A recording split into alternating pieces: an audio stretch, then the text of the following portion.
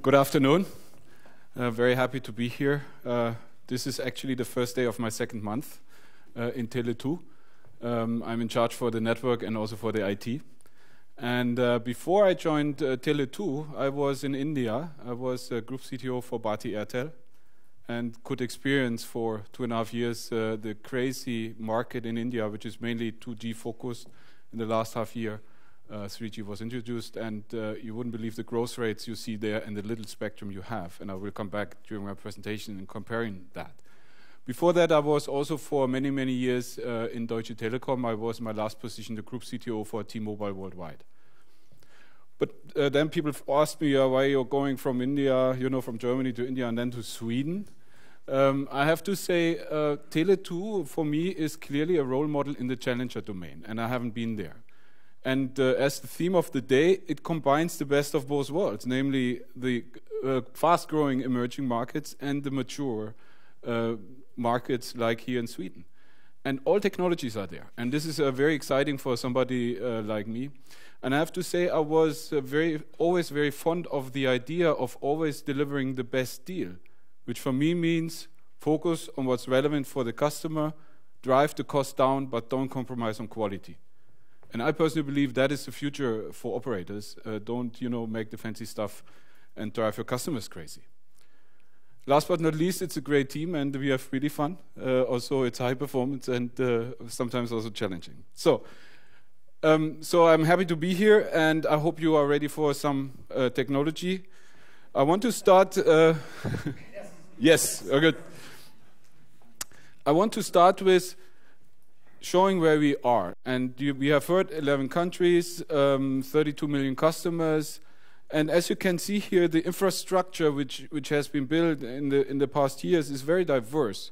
Country by country, we have a little bit different uh, uh, conditions, while in Sweden we have all. In Russia we have 2G only. And uh, this is where we are starting uh, from.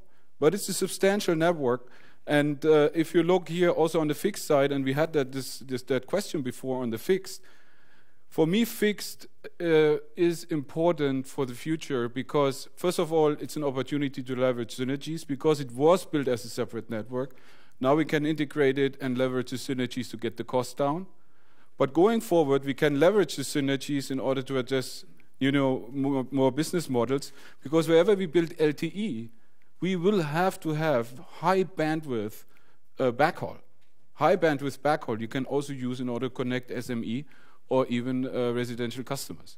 So there is an opportunity in, in what we are doing, and it's very uh, important. And you see the transmission uh, investment, transmission equipment, fiber, and routers uh, compared to the to the last years has significantly increased, and is a focus in all countries. We need it in all countries.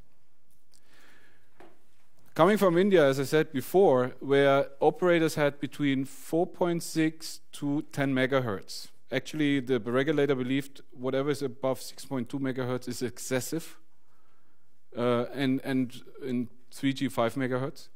Looking to the Tele2's frequency portfolio, that is very encouraging. It's an extremely well set platform for the future. This is true for all countries.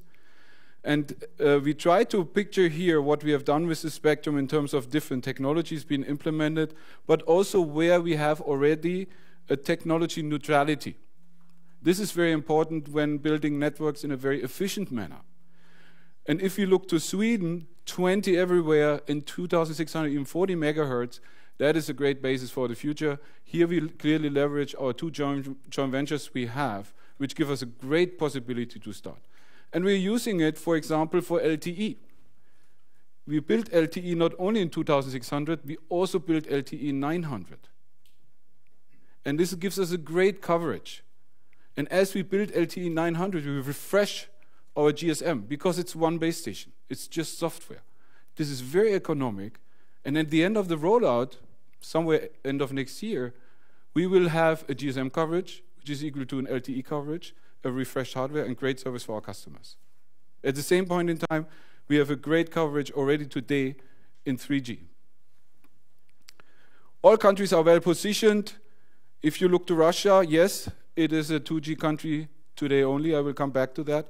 But the amount of spectrum there leaves all options open for the future as soon as techno neutrality comes and the possibility to refarm spectrum uh, within the bands we have.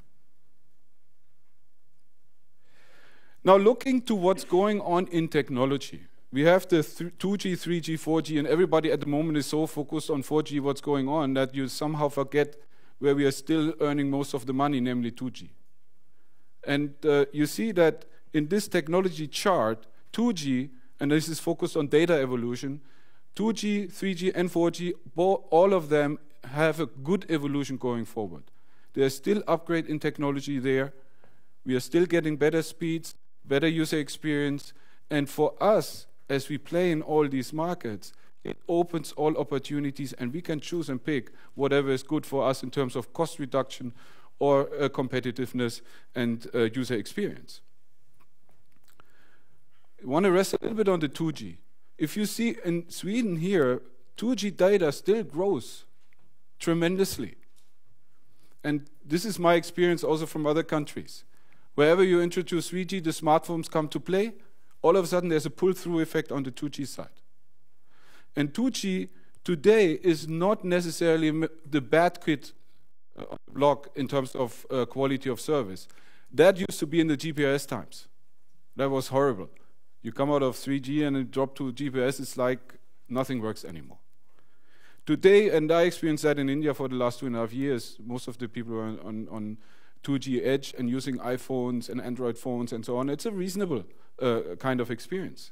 And this is the reason why still GSM, it is the most mature standard, and it's not the standard of the future, but it will be there for quite a while. We see traffic increasing and traffic and data overtaking voice pretty soon.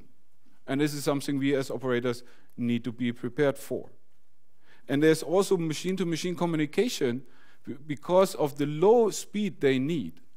GSM, because of this great coverage GSM uh, delivers, is an ideal platform to serve uh, machine-to-machine -machine communication and these type of customers. And as I said already, Edge today is a reasonable standard. It's comparable to the first 3G uh, ex user experience. Latency has been driven down, user bitrate has been driven up, which led to web download times now in a range of what you has been, have been used uh, to from 3G. And there's still a potential going forward. There's a standard evolution which is called edge evolution. Some of it is only software, and that is a it's a cheap opportunity to still leverage on the investments we have made and this gives us investment protection, and it gives us all options to wait until the time is right to step up to next uh, of the technologies.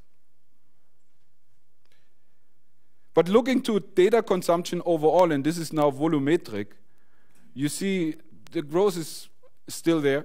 It's, it's accelerating, not really, it's kind of linear.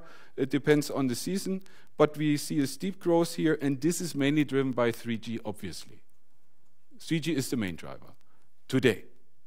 And this certainly gives you a challenge, in particular as smartphones come in, which really create a lot of signaling load these days. So we need to be able to upgrade our networks, although the revenues might not develop accordingly.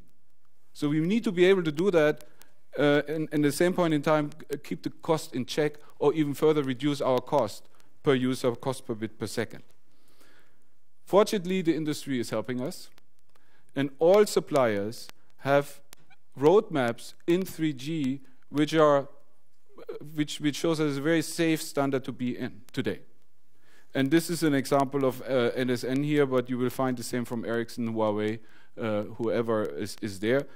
Uh, and it's, there are different means in order to improve the speed. One is just better technology, you know, higher coding rates. From QPSK to, you know, whatever uh, 16 QAM, 64 QAM, 128 QAM. That's a coding rate. The other is use MIMO. This means more antennas, more amplifiers. That's already a little bit more investment. And the third is bundle channels. Take one carrier, 5 megahertz, take another one, 10. All of a sudden, you can double the throughput. You can double the peak speed uh, to offer your, to your customers. And by that, you can cope with the requirements you have.